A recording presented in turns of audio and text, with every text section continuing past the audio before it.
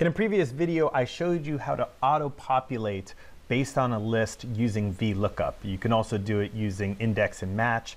Uh, as a reminder, you could, for instance, do data validation, uh, allow a list, and for your source, you could do this entire country list. And now you would have, wherever it was that I put that way up here, um, you would have these countries. And then we could auto-populate this cell with the capital based upon this choice. That's a different video. This user had a question, which is, well, how do you get this list to autocomplete? So different than auto-populate is autocomplete. And so for instance, if I wanted Brazil to show up in here, it doesn't. Even if I hit enter, it just says it doesn't match, and you have to type out the entire country. So the question is, how can you autocomplete this? Well, so to make this easier on me, I am going to control shift down on these countries, and I'm going to title this entire list countries so that it's easier to refer to later. Great.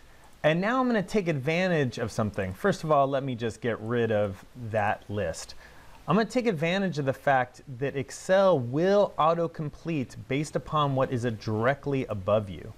And so here, what I'm going to do is take this entire list, Control Shift up, down one, and I am going to set these row heights to zero so that they're all hidden. Now, of course, you'll notice that we're starting on line 250, but what I can do now is come back to my data validation and I can allow a list, and I'm going to allow that whole list of countries.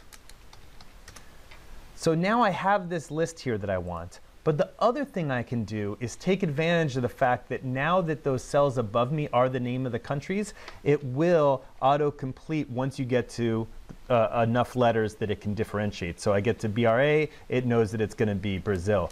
Uh, some of them you might have to go further. For instance, China isn't going to populate until you get to the N. Um, the Americas populate right there.